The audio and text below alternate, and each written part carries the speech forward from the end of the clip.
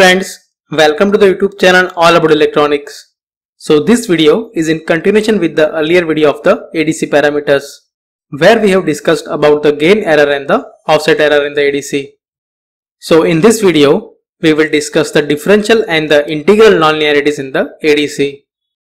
And similar to the offset error and the gain error, we will understand these errors through the transfer function of the ADC. Now just to recall, the transfer function of the ideal ADC can be represented by the straight line.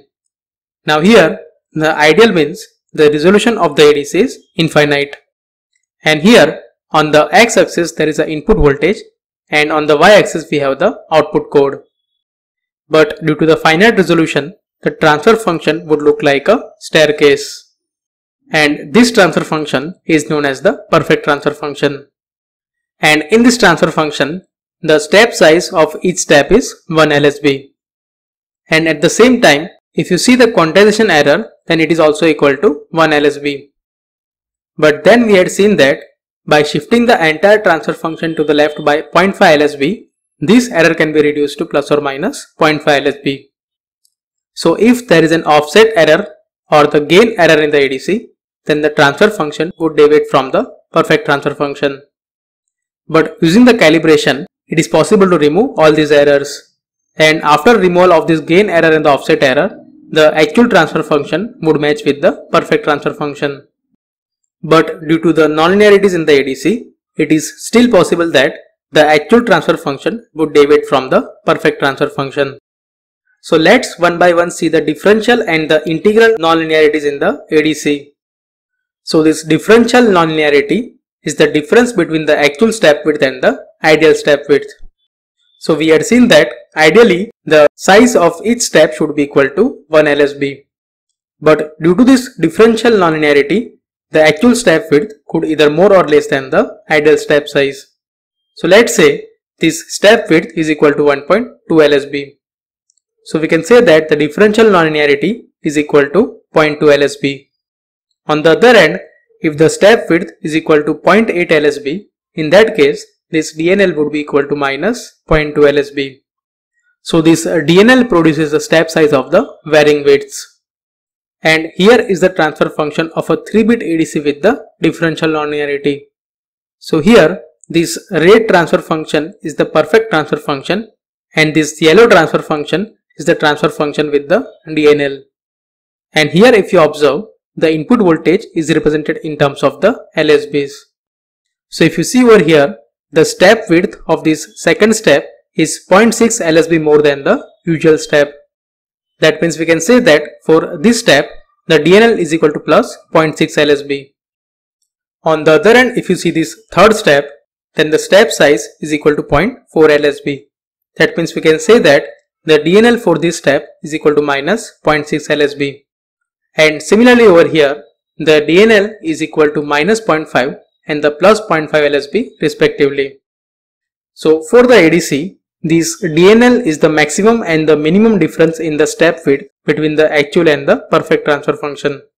So for the given transfer function of the ADC, we can say that the maximum DNL is equal to 0.6 LSB and the minimum DNL is equal to minus 0.6 LSB.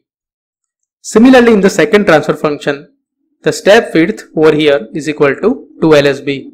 That means we can say that the DNL over here is equal to plus 1 LSB. And if you look over here, the step width is only 0.2 LSB. That means over here, the differential nonlinearity error is equal to minus 0.8 LSB.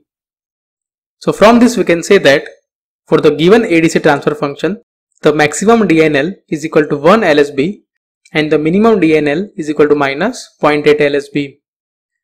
Now as far as this DNL is less than plus or minus 1 LSB, then we won't have any missing codes.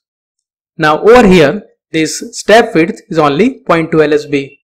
But suppose if it becomes 0, in that case, the DNL would be equal to 1 LSB. And in that case, if you see, this code 101 is the missing code. That means for any input, we won't get this 101 code. So while selecting the ADC, one should also see that there is a no missing code. And as far as the DNL of the ADC is less than plus or minus 1 LSB, then there won't be any missing code. Now sometimes, even if there is a missing code in the ADC, then it won't affect the performance of some applications, provided if the ADC is chosen properly. So for example, let's say for some application, the required resolution of the ADC is 13-bit. And let's say we have two options. One is the 16-bit ADC with plus or minus 0.5 LSB of DNL and the second option is the 16-bit ADC with DNL of less than 1 LSB. So of course this second ADC would be at least 2 to 3 times more costlier than the first ADC. But in this case, the first ADC would also do the job. Because if you see over here, with 4 LSB of DNL, the effective resolution provided by the ADC is equal to 14 LSB. And in fact, it is more than the required resolution. So in this case, even if there is a missing code in the ADC, it won't affect the particular application. That means before selecting the ADC for the specific application, one should also need to do proper error budgeting. Alright, so now let's talk about the second type of error. So this INL or the integral nonlinearity is the integral of all DNLs. And basically it indicates how the actual transfer curve deviates from the straight line. So at any given point in the transfer function, the INL is the accumulation of all the previous DNLs up to that point. And there are a couple of ways to measure that. The one method is by measuring the difference between the midpoints of the actual and the perfect transfer function. And the second is by measuring the difference in the transition points of the actual and the perfect transfer function. And when it is measured using the first method, then the INL value will be somewhat less than this second method. So here, all the midpoints of the actual transfer function have been joined. So by joining all these points, we will get this pink curve. So here, this blue curve is the ideal transfer function and this pink curve is the actual transfer function and this INL indicates how the actual transfer curve deviates from the ideal transfer curve. Now here if you observe this actual transfer curve is below the ideal transfer curve but the several consecutive negative DNLs can raise the curve above the ideal transfer function and in this case the value of INL would be positive. and if the actual curve is below the ideal curve in that case the INL would be negative. So basically the distribution of this DNL determines the value of this INL and based on the distribution of this DNL the maximum value of the INL could be larger or smaller than the DNL error. Now as I said this INL indicates how the actual curve deviates from the ideal curve or the straight line and there are a couple of methods to draw this straight line. So the first method is the endpoint method. So in this endpoint method the straight line passes through the endpoints of this actual transfer curve. And usually this line is drawn after removing the gain error and the offset error in the ADC.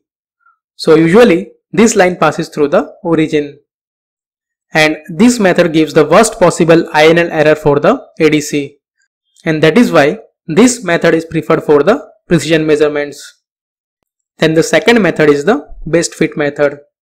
So in this method, the best fitted linear line which closely represents the actual curve is drawn and with respect to that line this INL error is measured. And when we measure this INL using this method then it would be always less than the endpoint method. So while selecting the ADC one should also carefully look all these parameters in the datasheet. So in short this INL gives the general measure of the accuracy of the ADC. So for any ADC both these parameters, that means this INL and DNL should be as minimum as possible. So I hope in this video you understood about this integral and the differential nonlinearities. So if you have any question or suggestion, do let me know here in the comment section below. If you like this video, hit the like button and subscribe to the channel for more such videos.